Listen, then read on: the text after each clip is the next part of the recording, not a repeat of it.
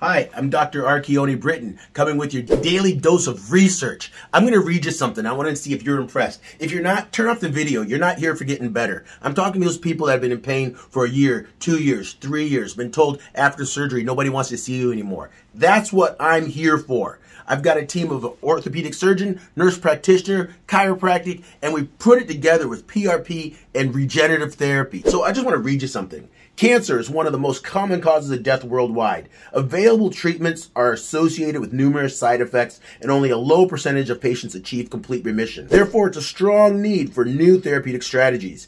In this regard, pulse electromagnetic field therapy presents several potential advantages including non-invasiveness, safety, and lack of toxicity for non-cancerous cells. If they can help the inflammation that people are getting during cancer, what do you think is going to do the inflammation that you're getting from your arthritis or your sciatic nerve or your low back pain? Someone told me one time I'm intense. I'm intense because I'm the answer to your pain that you've had for 10 years, 5 years, 4 years. It's keeping you from working, keeping you from making love, keeping you from enjoying your family. I'm intense because I've been doing this. We've been showing results. You need to get in here. If you're watching this video, you've waited long enough. Listen to this. PEMF stimulation has already been used in the context of various cancer types skin, breast, prostate, hepatocellular, lung, ovarian, pancreatic cancer. All right? At present, only limited application has been documented in humans. That's where we're going with this. And when we're saying that limited application, in Europe, this is what they're using for people after cancer to deal with the radiation therapy. So, what are we doing with it? We're helping your cells rejuvenate themselves, hopefully, in the absence of cancer, for the arthritis, for that tight knee pain, for the fact that you're getting older. You're no longer 20 years old. You're 50, 55. Your cells can no longer regenerate quick enough. That's what you're coming in here for. Hope you're having a great day. Thanks for listening.